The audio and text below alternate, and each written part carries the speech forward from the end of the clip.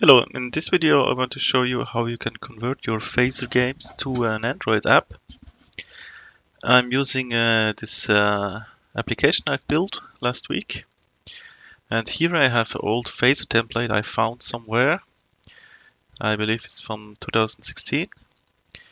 Uh, we will just uh, open that in Visual Studio Code to see how it works.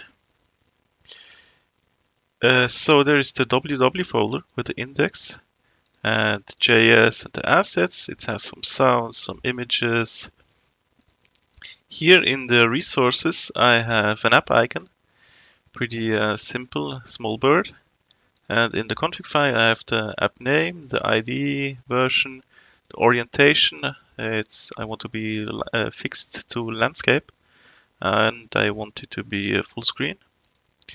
So I will just have a look at the game to show it to you. Just open it with Five server.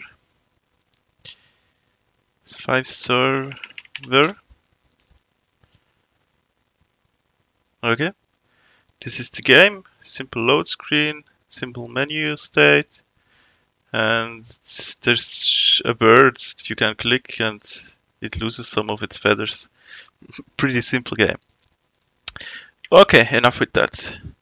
To build the game, we will take all of uh, our folders and the config file and we will convert it to a zip file. It doesn't matter what you call it. Then you go to the website, you log in. If you haven't, you just have to log in with GitHub. Okay, then we'll choose our file. It's on the desktop on old Phaser template and here's the zip file. Okay, file is being processed.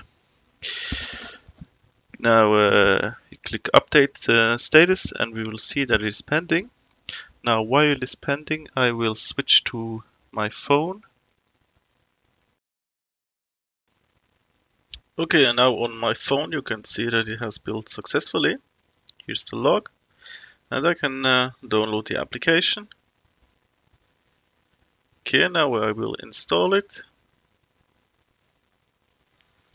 So once installed, you can see the icon of the blue bird with uh, text bluebird, which is the app name.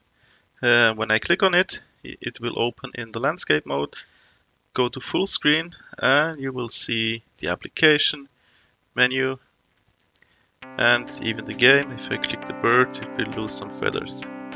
So that's pretty cool and pretty straightforward. Okay, thanks for watching.